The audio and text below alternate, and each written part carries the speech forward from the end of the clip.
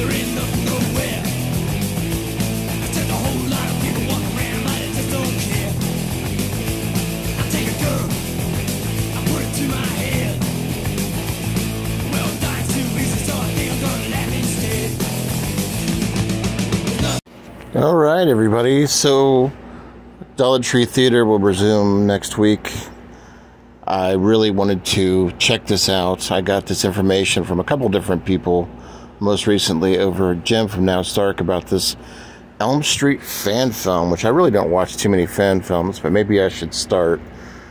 But this is about my favorite franchise, so I couldn't just not talk about it.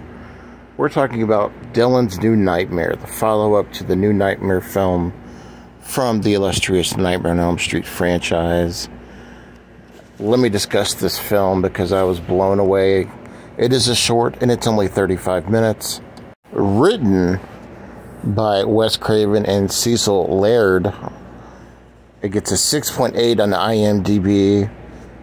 We're following basically Dylan 25 years or so after the events of the new Nightmare films. And he's auditioning for a role in a film just like his parents. And he's having a bit of struggles because he's getting all of these flashbacks to the original film and all these things that are happening to him. And you start seeing visions of Freddy, and it starts to get kind of crazy and things. And I'll leave it at that. Um, but I do want to talk about why you should watch this and support this director and support this film because it was only done with a $30,000 budget. And you get to see a lot of great scenes in this. It was very well shot. I will say this that the, the, the, the Freddy Krueger design wasn't perfect, but it wasn't bad either. The only problem I had with it was a little bit of the mouth seemed a little bit too saggy for the character but it was damn good, really good design. Um, there was a, a, little bit of gore in it, and the gore that you got to see was on point. Miko Hughes reprises his role as Dylan, and of course, he was phenomenal. Shout out to Miko Hughes. He's very cool to meet at conventions, and uh, just really, really well done. Uh, 35 minutes.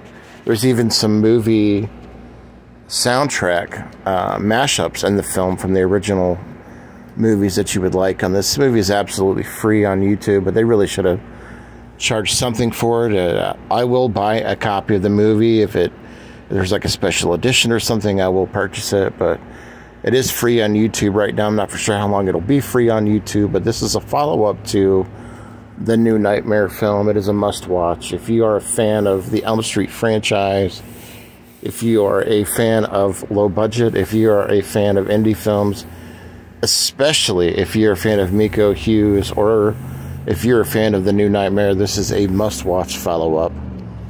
Um, I want to thank Jim over at Now It's Dark for, for bringing this to my attention. I've had a couple people mention it as well. Um, but he basically brought it to my attention by doing a video about it. And you guys know this is my favorite franchise of all time. I just had to see this. So, uh, like I said, I'll put the link in the description for this.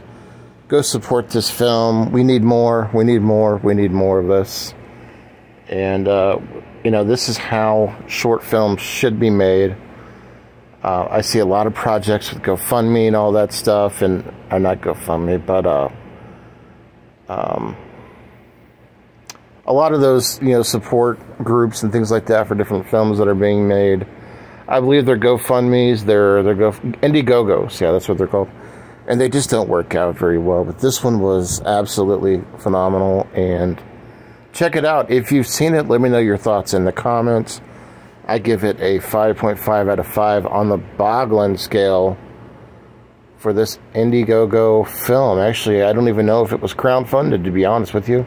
I didn't wasn't able to even find that, but this is 100% worth a watch, and I'll put the link in so you guys can check it out. Have a good day. See you this weekend. Peace. This is Halloween.